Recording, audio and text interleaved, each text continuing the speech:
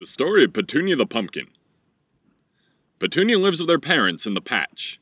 Petunia wants to grow big and be adopted by a human, like all pumpkins. Mom, when am I gonna be big? Soon, Petunia. Just concentrate. Petunia concentrated and concentrated, and then poof! She was bigger than Mom. Look at me! I'm bigger than Mom! Hey, where is Mom anyway? Then one day a nice human came along and picked Petunia. She was ecstatic. Yeah! I'm so ecstatic! La la la, I'm so excited! You're in for it, kiddo. Oh no! Oh no!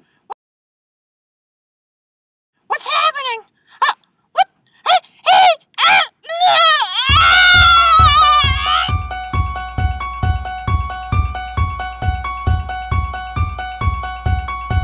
ah! You're next.